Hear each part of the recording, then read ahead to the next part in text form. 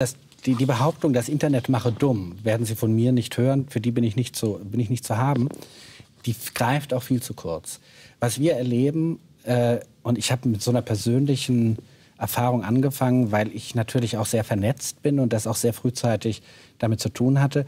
Was wir erleben, ist eine Revolution, die so groß ist, wie sie auch viele Eingeweihte äh, vielleicht noch gar nicht richtig abschätzen können. Also die Vergleiche, die wir immer haben, Gutenberg, äh, äh Erfindung der Druckerpresse und dergleichen, greifen wahrscheinlich zu kurz. Äh, der Vergleich wäre richtig, wenn man sagen würde, Gutenberg äh, hat einen äh, Buchdruck erfunden, Bücher sozusagen publiziert,